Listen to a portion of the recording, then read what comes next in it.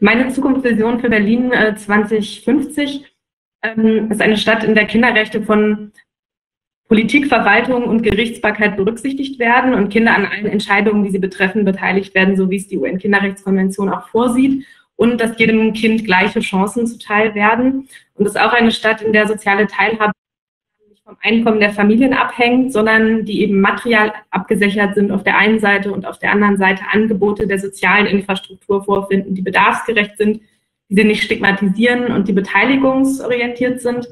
Ähm, zentrale Hürden und Herausforderungen habe ich jetzt so ein bisschen mit meinen Maßnahmen gemischt, weil es sich anbot.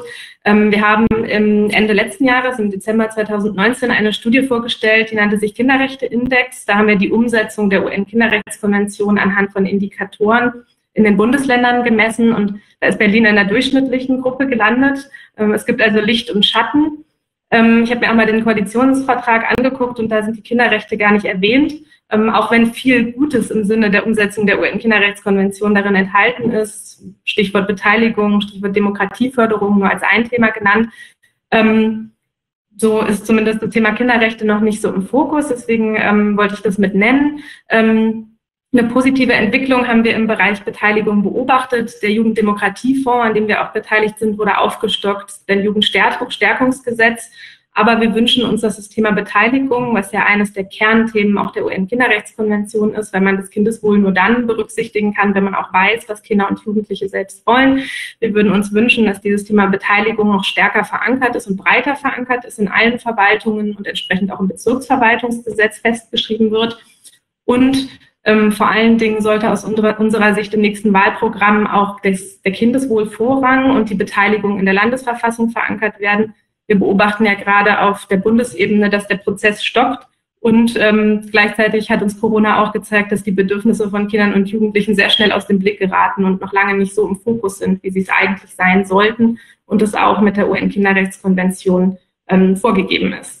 Mit Blick auf soziale Teilhabe, ähm, auch wenn wir nicht sozusagen nur von Corona ausgehen sollen, hat doch trotzdem auch die Krise uns gezeigt, dass wir einen stärkeren Fokus auf das Thema Schule legen müssen und auf das Ineinandergreifen von Schule und außerschulischen Akteuren, damit Kinder, ähm, gerade solche, die eben von Armut betroffen sind, nicht den Anschluss verlieren. Da ist aus ähm, unserer Sicht wichtig einmal die technische Ausstattung und das Know-how der ähm, Fachkräfte. Äh, da geht es einmal auch um die Umsetz Umsetzung des Digitalpaktes. Als ein Beispiel, wir haben jetzt in der Krise ähm, einen Kindernothilfefonds aufgelegt. Innerhalb kürzester Zeit waren ähm, all unsere Mittel daraus verbraucht, weil es so viele Kinder und Jugendliche gab, die eben nicht die technische Ausstattung haben, die sie brauchen. Aber es geht auch um Lernbegleitung. Ähm, da machen die außerschulischen Träger ganz wichtige Arbeit. Ähm, hier könnte ein Sonderfonds aufgelegt werden und eben auch vor allen Dingen die Kinder- und Jugendarbeit abgesichert.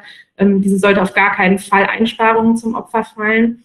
Ähm, für euch alle ähm, nicht neu, jedes dritte Kind lebt in Hartz IV äh, in Berlin. Es gibt eine große Armutssegregation ähm, und wir haben ähm, und ich habe gesehen, im, im, im, auch im Koalitionsvertrag steht ein ressortübergreifendes Programm zur Bekämpfung der Kinderarmut und ein Familienfördergesetz, weil das ist meines Wissens nach noch offen. Deswegen würde ich plädieren für einen neuen Anlauf, für eine Gesamtstrategie gegen ähm, Kinderarmut.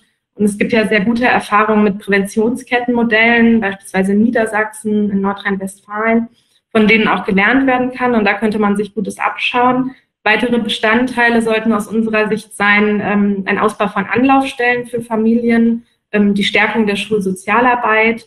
Ähm, und unser Kinderrechteindex hat auch gezeigt, dass Berlin am schlechtesten abgeschnitten hat beim Thema Sanktionen. In Berlin werden besonders viele Familien mit Kindern sanktioniert. Ähm, darauf sollte man auch nochmal einen Blick.